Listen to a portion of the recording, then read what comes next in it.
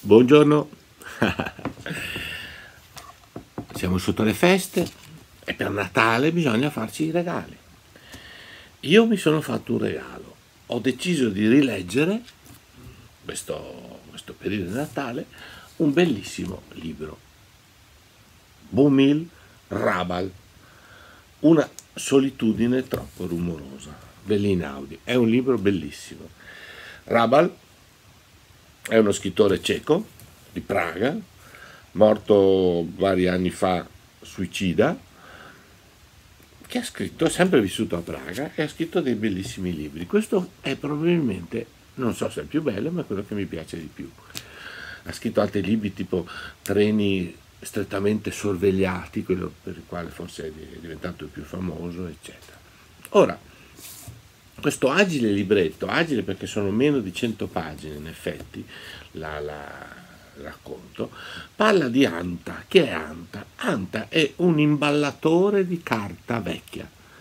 È uno che lavora in un sotterraneo dove gli arriva della carta e lui crea delle balle di carta che vanno a finire in cartiere, cose di questo genere. È un lavoro apparentemente, ma anche nella realtà, molto brutto perché la carta che gli arriva è di tutti i tipi, da carta dei macellai sporca di sangue a tutti i tipi di carta, pulita o sporca che sia, il suo lavoro è sempre quello.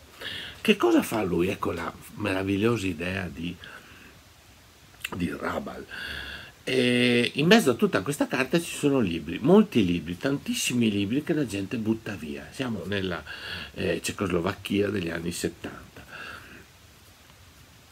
Cosa fa lui? Lui questi libri non, non, non, sente di non poterli buttare via. E allora che cosa fa? Allora, innanzitutto se ne prende moltissimi, se ne porta a casa, ha la casa con delle tonnellate di libri che legge naturalmente lui si dice che è, un, è colto involontariamente. E dopo, questa fantastica idea, dentro ciascuna grande balla di carta, lui infila nel mezzo, aperto, un libro. Un libro ha una pagina giusta, la pagina che lui ritiene giusta, e questo libro se ne va insieme a queste balle di carta. Quindi lui fa un omaggio a tutti questi autori e li mette dentro balle di carta. Ma non soltanto fa questo, gli arrivano anche moltissime stampe di quadri di tutti i libri. Lui che cosa fa con queste stampe? Le mette fuori, le mette su, su, sulle pareti di, questo, di, queste, di queste balle di carta. Questa è diciamo, l'idea fondamentale che porta avanti. E poi lui beve, è uno che beve moltissimo, beve moltissima birra, qui c'è un aspetto autobiografico di Rabel, a proposito è autobiografico anche il lavoro, perché lui per alcuni anni ha fatto molti lavori, tra i quali l'imballatore di carta da macero. È un libro estremamente eh, colto, perché? Perché mette insieme tutta una serie di citazioni e, e a volte mescolate in modo strano. Pensate, dice qua, un pomeriggio i macellai del macello mi portarono un camion pieno di carte insanguinate e cartoni sanguinolenti, intere cassette di carta che io non lo sopportavo, perché quella carta mandava un profumo dolce io ero sempre insanguinato come un grembiule di macello. Per difesa, sentite qua, nel primo pacchetto inserì aperto l'elogio della pazzia di Erasmo, nel secondo pacco deposi pienamente Don Carlos di Schiller e nel terzo pacco, affinché anche la parola si facesse carne insanguinata, aprì Lecce Homo di Friedrich Nietzsche. Mi hanno chiamato al telefono, devo interrompere la registrazione. Eccoci, riprendiamo. Sempre in quella pagina, più avanti,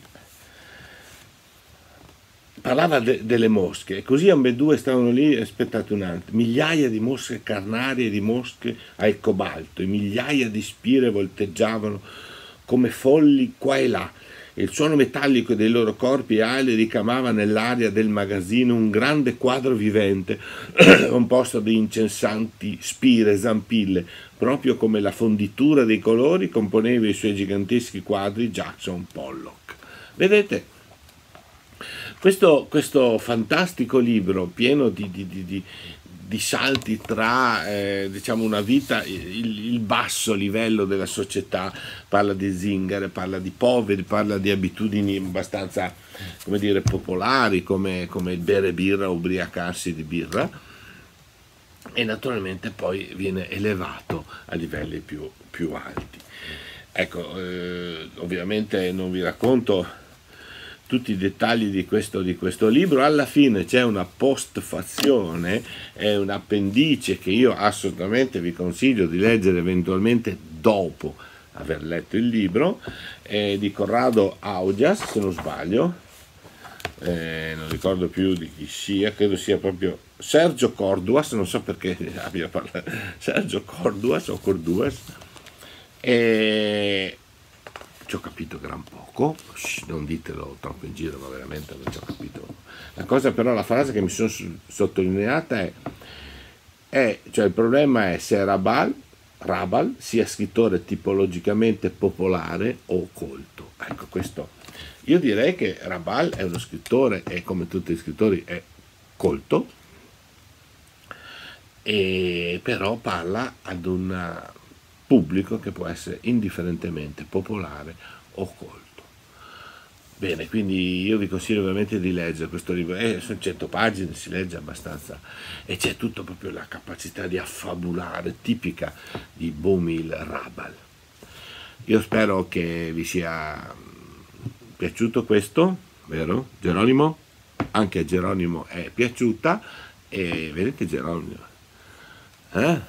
Simpatico, è direttamente, scusate, è direttamente uscito da un quadro di, di, di Boschi, è proprio lui, è lui che è uscito da Boschi e è venuto a trovarci, tutti quanti insieme. Bene, eh, buona lettura. Ah, vi rifaccio vedere il testo, questa è l'edizione molto vecchia dell'Inaudi, credo che sia ancora Inaudi che lo pubblica, questo costava 14.000 lire, ed è stato pubblicato questo qua, nel, il titolo originale eccolo qua, è dell'81, quindi l'ha scritto nell'81 Rabal.